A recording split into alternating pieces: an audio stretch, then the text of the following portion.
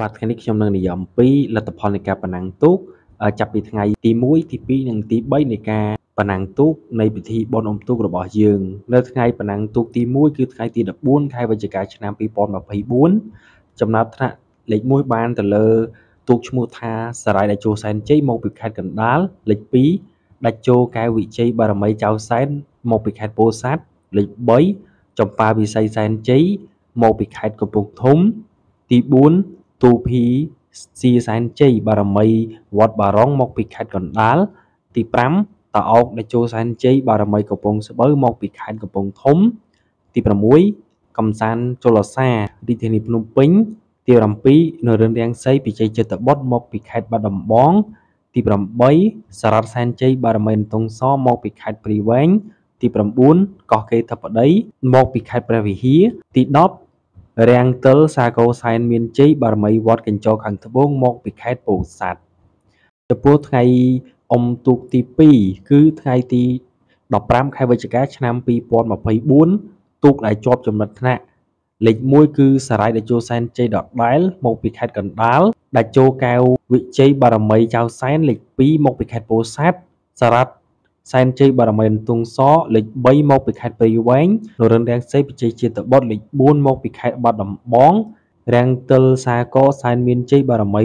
វត្តកញ្ចោខាងត្បូងមកពីខេត្តពោធិ៍សាត់បានលេខ5ខៀវតៃស្អាតអណ្ដាតក្រហមលេខ6មកពីរាជធានីភ្នំពេញតាអោករជោសែនជ័យបារមីកំពង់ស្បូវលេខ7មកពីខេត្តកំពង់ធំ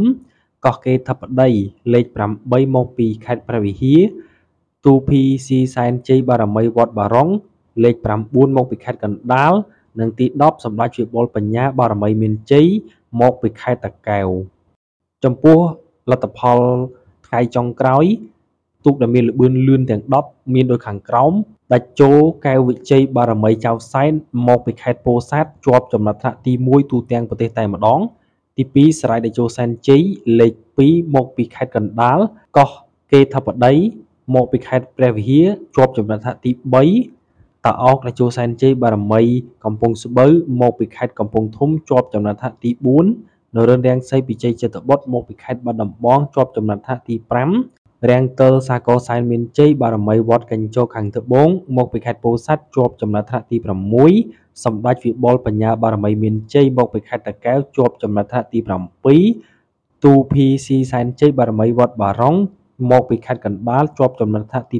8ខៀវតៃស្អាតអណ្ដាតក្រហម មកពីរាជធានីភ្នំពេញជាប់ចំណាត់ថ្នាក់ទី9និងចុងក្រោយទី10មហាធិបតីរស្មីជ្រៃមាសមកពីខេត្តកំពង់ចាម គឺជាប់ចំណាត់ថ្នាក់ទី10នេះគឺជាលទ្ធផលនៃការប្រកួតការប្រណាំងទូកទាំង3ថ្ងៃ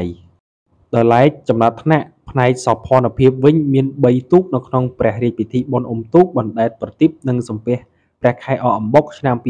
2024មានដូចជាត្រីភាពឧត្តមសែនជ័យបារមីទី2មកពីខេត្តកំពង់ឆ្នាំងបានចំណាត់ថ្នាក់ទី1នរិនរាំងសីពីជ័យចិត្តបុត្រជាប់ចំណាត់ថ្នាក់ទី2និងដួងសុរិយាបុផាស្ទឹងសែនបារមីក្តីដូងជាប់ចំណាត់ថ្នាក់ទី3គួររំលឹកផងដែរថាទូកងគូពិសេសដែលក្រងជើងឯកចាប់ពីឆ្នាំ2017រហូតដល់ឆ្នាំ2024មានដូចជា ឆ្នាំ2017 ទូកងឈ្មោះថា សារាយដាជោសែនជ័យមកពីខេត្តកណ្ដាល2018កោះកេរសែនជ័យបារមីព្រះអង្គខ្មៅដែលបច្ចុប្បន្នដាក់ឈ្មោះថាកោះកេរធិបតីមកពីខេត្តព្រះវិហារ2019សារាយដាជោសែនជ័យមកពីខេត្តកណ្ដាល